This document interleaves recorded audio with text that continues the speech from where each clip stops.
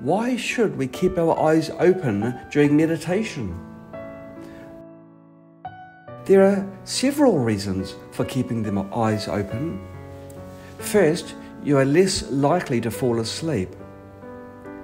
Second, meditation is not a means of running away from the world. Third, it's not disconnecting from the world and entering a trance like state of consciousness. Closing the eyes can easily lead to trance and immersion in your own dark state. On the contrary, meditation is a direct way to help us truly understand ourselves and relate to life and the world. Your eyes are the key to connecting your life to the external world. Therefore, when meditating, keep your eyes open not closed.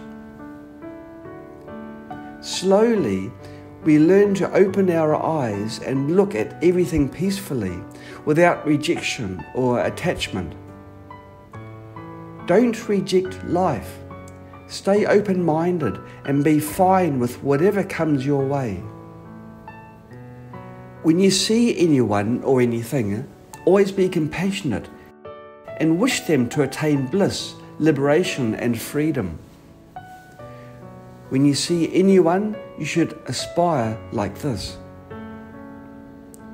You leave all your senses just open, naturally as they are, without covering them up or grasping after their perceptions.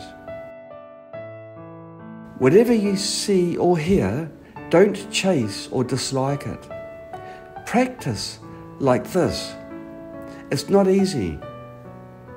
Ordinary beings are always attached to what they see or hear and are constantly disturbed by afflictions. At the beginning, we can only practice with easier objects. This also applies to ears. Listen to any sound naturally. At first, we may get upset over some noises, but we can visualize them as mantras to deal with our afflictions. If we change our mindset, we will find that this visualization can actually help open our energy channels. The key is our mindset.